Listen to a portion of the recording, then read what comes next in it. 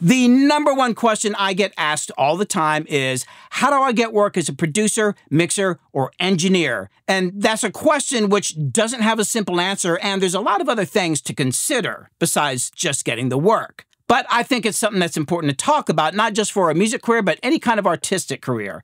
So earlier today on my live stream, I ended up talking about this for a, a, really long time, and you could go watch that replay, but you'd have to listen to me stumbling through my words from reverberating, reverberating, reverberating, reverberating, getting my points out of order. I completely missed something, uh, and the usual chaos that is my live streams. A, oh my God, Billy. we're gonna shut. We're gonna shut. So this is an edit of that live stream, but it sticks to the best advice and answers that I can give you, and I hope it helps to answer your questions. It's broken into three sections. Number one First things first, being prepared. Number two, getting the work. Number three, keeping the work.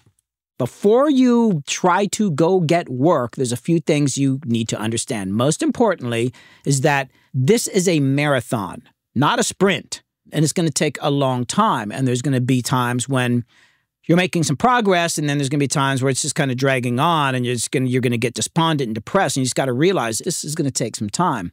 I worked doing recording sessions and all that stuff for 10 years before I ever made a profit. And then there were times, even after I had hit records, where making a lot of money and we're doing great. And then there's like, oh man, nothing's going on for months at a time. It's just, this is how it is. So you've got to be prepared for a hard life try to work under some pros. Find some people who are great producers and mixers and see if you can get in their studio. Even if you got to take out the trash, do some vacuuming, making peanut butter and jelly sandwiches, do whatever you can to work with people who are kicking butt do something that's going to make their lives easier, and then you can watch them work. Even just go visit studios, just ask for studio tours and just talk to them and see what their studio looks like and ask them about their gear. And, and who knows, maybe that leads to you being able to hang out. But that's one of the best things you can do to get into the business. You want to surround yourself with people who are already doing it.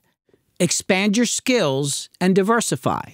If you're a mixer, learn how to produce. If you're a producer, learn how to mix learn how to work in different genres. Go out and learn how to mic live instruments. Go learn how to mic a banjo. Go work at a live venue and do live sound for a while. You'll learn a lot. I would also suggest anybody to learn how to play an instrument. At least learn how to bang around on the keyboard a little bit and play major and minor chords and a few other things. But if you can learn how to play a guitar or bass, even just at a mediocre level, it's going to put you so far ahead because it gives you the ability to just lay down some basic parts. So it's going to help you communicate with more advanced musicians, diversify because it's going to be harder and harder to specialize in this business if you're only doing one genre and one skill set. Be frugal and live cheaply. Do not get into debt. This is like one of the most important things. Don't get a new car, buy a used car, even if it's just a year old you don't need it. The best thing you could do is buy a clunker, which is I've always done. All my cars, even when I was working on Hit Records, I always drove beat up cars.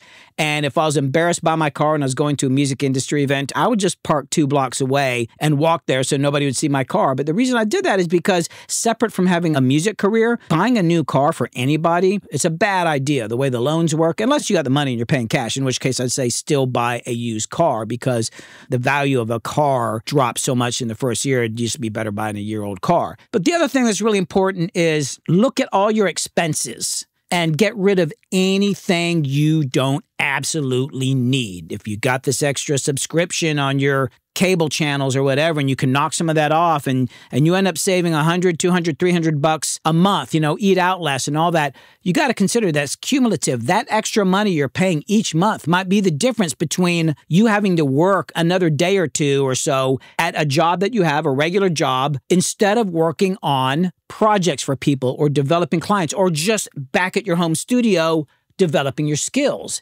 and over the course of a year, you're talking about weeks worth of time that you're going to be at a job where you can't do anything as opposed to being home. So get rid of every expense that you possibly can. I'm going to hand it over to Crystal, who is the real brains behind this operation, to talk about some financial stuff. One of the things that Billy said was keep your expenses low.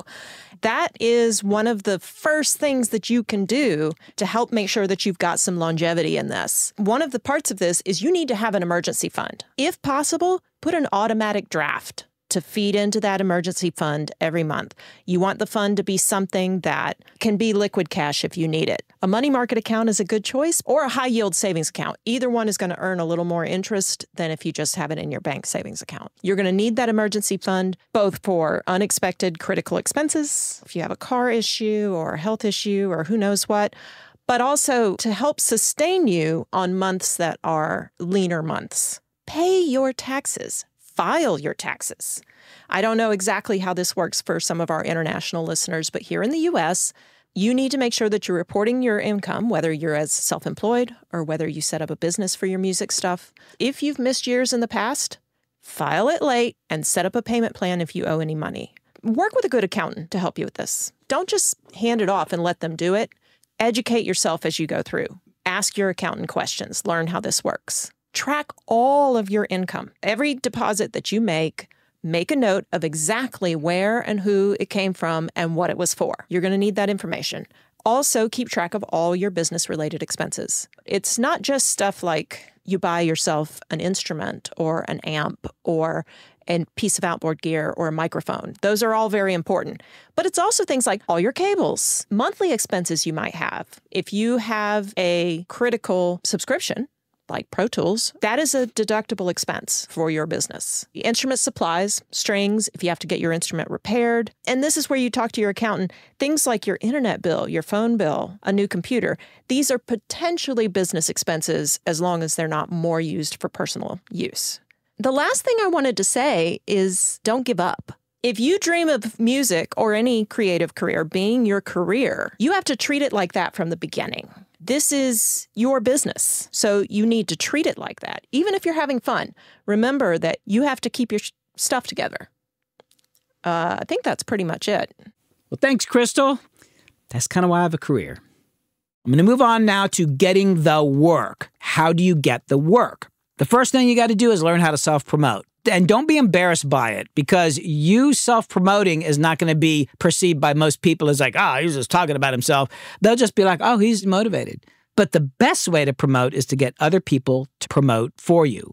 And the way to do that is find an artist or a band that is very active and they're good, they're out doing things, and they are promoting themselves and offer to do some songs for free for them. And just tell them that they can't tell anybody else that you're working for free.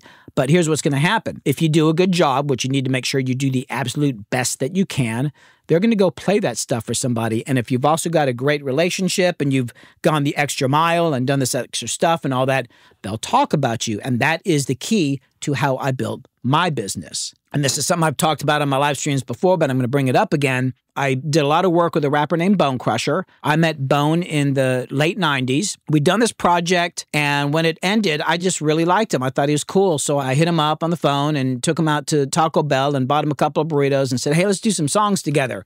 And that turned into a lot of songs. But then it was like, oh, wow, everything we did, even little demos, he'd go play for everybody. So I just made sure that before I gave him a demo on a cassette, it was on cassettes back then and later CDs, that I just killed it, made it as good as possible. And he would take that stuff and play it for everybody in Atlanta. Sometimes he'd like talk his way into the local radio station, they'd play it late at night. But Bone did so much advertising for me. So I started making this kind of rule that at any one moment, I always had one project that was a pet project that I picked out that I was going to do for that purpose to get my work out there and heard, and also sometimes to challenge myself. Maybe they were doing something that was a little more country or a little more rock, but it always had to be somebody, and this is the key thing it has to be somebody who's going out and actually doing something. Doesn't matter how good they are if they're just sitting in their house. You need to find people who are out gigging, self promoting, and doing things. Another way you can do that if you don't know people like that is go out and go to where there are live performances. Go to open mics, go to see local bands and listen to them and go talk to them and make friends with them. And you don't know where that's going to lead. That's one of the best things you can do. Like just go out to the clubs and meet artists and expand your you know, I hate to say network because people always say, oh, we're going to network. I don't network. I don't think of it as networking. I think of it as making a lot of friends, building relationships. And that's how you should do it too. Go to the networking events, but don't think about networking. Oh, I'm going to hand out my business card and then they're going to call me up. No, make friends with people and be of value to them. The other thing that's really important about getting work, and this kind of ties into what I said about expanding your skills and diversifying, is differentiate. If you want to get work, you got to ask yourself, what makes you different? Are you doing the same quality work as other people out there, or is it better? Do you have a different angle? Or are you able to not only produce, but play some instruments? Or maybe you can work across different genres, which is something I've always done. That's how I differentiated myself that I could do rap, country, jazz, bluegrass, heavy metal, rock, whatever, because I played in top 40 bands for years and I knew how to play all these top 40 songs. And I was, you know, that taught me how to do that stuff. I didn't realize that's what I was doing at the time. I just wanted to get out of the house and go in a van and meet chicks and play gigs and stuff like that. But I did learn a lot along the way. So make sure that you find a way to differentiate yourself. And sometimes that differentiation isn't just about your skills, it's about you as a human being, as a person. And that kind of ties into the other thing is that you need to make sure that you are always answering your phone calls, direct messages, emails, be prompt, be professional. That's another way to differentiate yourself, being on top of things, being ahead of everybody. You need to be ahead of everybody where the technology is concerned, prepping for sessions, music industry news, whatever. You need to be ahead of everybody so that when you meet them, you can talk about things and they'll be like, What? And then suddenly you become like the guy who knows things. That's so valuable, so valuable to be able to just inform people of things in a session. You just turn, Hey, did you know, blah, blah, blah. And they're like, Whoa. And I tell you, that kind of stuff can make a difference. Like, oh, that guy's that guy's together. Get the files. Get the files. I can't tell you how many times I've talked to people and they're not totally sure if they're going to hire me because I'm a little bit more expensive. Sometimes I'll tell people before I quote them a price, I'm like, well, I don't know. Like, can I see what it looks like? And I get them to send me the session before I quote the price. Because once I get the files, even if they say no, I'm like, I don't know. I think I could do a good job. There's been a couple times I just went ahead and mixed it anyway. Just slaughtered it. Just absolutely slaughtered it. And I send them like, maybe I cut off the last 30 seconds or something. Like, yeah, well, I did it anyway. What do you think of this? And they're like, oh, damn. Once you get the files, it's up to you. If you're willing to put the energy in, you can just do the work anyway. And and maybe in the end, they say, nah, never mind, we found somebody else. But even if you have a great mix, they might hire their buddy who's just got better weed. I don't know. But in the process, you'll learn. Every time you do a session, every time you do a mix, you're going to learn something. In the beginning, take advantage of every opportunity you can. Take advantage of every platform out there. There's all these little mixing websites where people can go and hire a mixer and you know, there's not much money in it, but if you hit all of them, it, who knows what it could lead to? Because it only takes one artist to make all the difference, just the right artist, and you never know where you're going to meet them. Keeping the work. Once you get the work, how do you keep the work? You need to be the best at your work, and your work needs to be bulletproof. You can't take any shortcuts. Whether you're a producer, a mixer, or engineer, you can't go, ah, nobody will notice it. Trust me, people will notice or they'll sense that something's wrong. Your work has to be bulletproof because the only thing that matters is what comes out of the speakers. At the end of the day, the only thing that matters is what comes out of the speakers. Make yourself indispensable be so good and so together and so on top of it that they're just like, oh, wow. Be a problem solver. Production and mixing isn't just about sound. Sometimes it's about how people are thinking about their music, how they're approaching things. Help lead them through the process, help solve their problems, and help elevate their growth, and they'll hire you again.